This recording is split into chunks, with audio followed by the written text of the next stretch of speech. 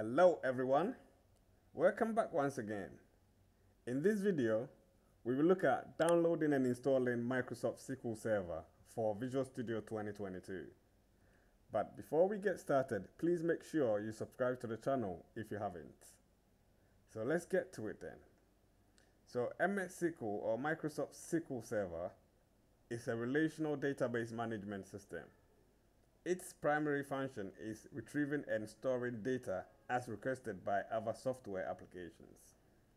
But in this case, yeah, we're going to use the SQL Server Express, which is the free edition of SQL Server, ideal for development and production for desktop, web, and small server applications. So rather than just talking too much, so as you can see right here, I've got the Visual Studio installer opened and I've got a browser obviously. So we're just going to go straight to Google and type in, um, of course, Microsoft uh, SQL Server. So we just get the first result. So we go to the SQL Server downloads, yeah? So here we'll be able to download the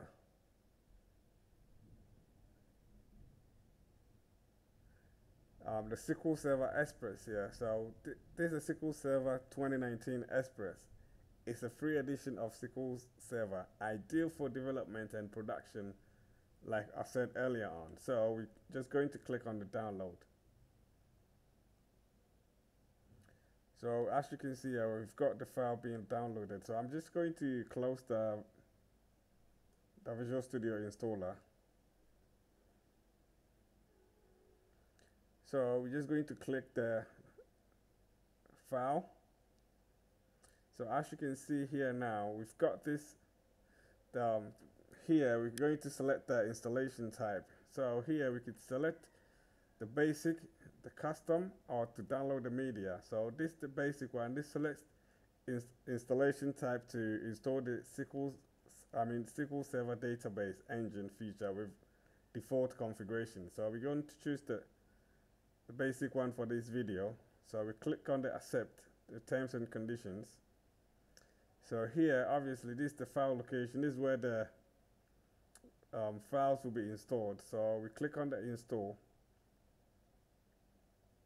So this might actually take a while. So I'm just going to pause the video while the whole thing, yeah, while the whole magic is happening. So if there's any changes here, I'll just come back to the video and explain it. So I'm just going to leave it here as it is, yeah? So as you can see here now, we've actually got the download successful and we've got the installation started, yeah? So we just, so this will take a few moments for the whole thing just to finish up.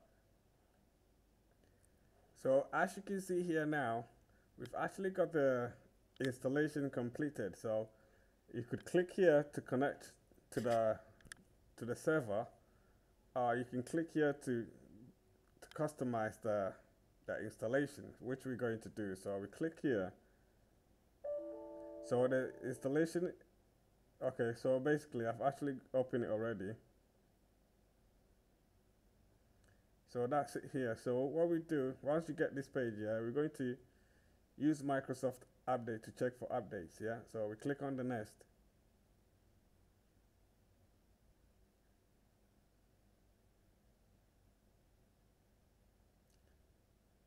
So here, obviously there's a firewall. We're just going to try to skip it. So here, this this is what we get. So this first bit is perform a new installation of SQL Server. Or uh, this here just to add some features to it, yeah? So let's click on this bit, see. So we're just going to add, we're just going to click on this next.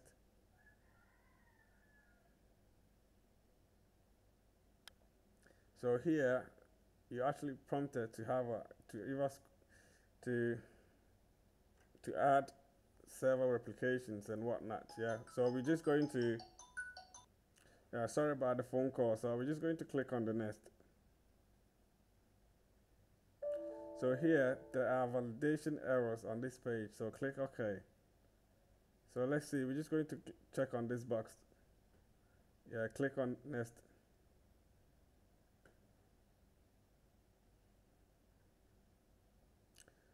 So as you can see, uh, we've got the inst installation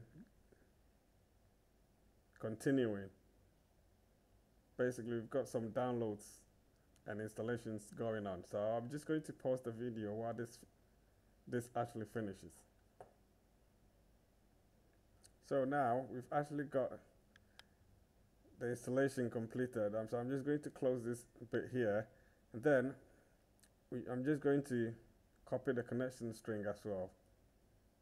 So basically the server is um, SQL Express and whatnot. So we're going to click on the connect now. So basically we've got that this bit sorted out. So I'm just going to open a Visual Studio.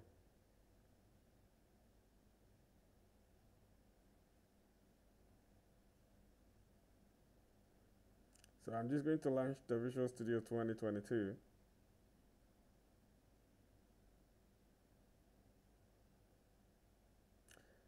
Then we're going to continue with our code.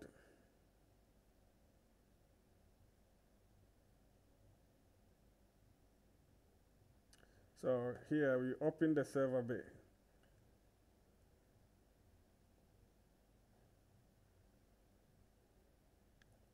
we open the server bit here and then here. So as you can see we've on the data connection side here we just right click it and then add connection. So here we're just going to select Microsoft SQL Server. Continue. So here we're going to add the, the server name. So we just we're just going to put this here so basically the server is this local local host this bit here. So we're just going to copy it and then paste it here. So we're just going to test connection. So as you can see here, um, the, connect, the, the test connection is succeeded. So as you can see here now, we're using the the Windows authentication, but obviously you can create some other authentication types for your for your server. Yeah. So here obviously you can go ahead and create database or you can look through here if there's any database attached to this. So we're just going to go ahead and create a simple database. So we just got FT, just some anything in here. So we click OK. So basically the database doesn't exist, so we click yes for it to be created. So as you can see here now, we've got the DB created, yeah? So on my next video, obviously we look at creating a database project inside of Visual Studio 2022. So base, so please make sure you subscribe to the channel because I've got lots of videos coming up, yeah? So I have I hope you have a lovely morning, afternoon, evening, wherever you are. Peace.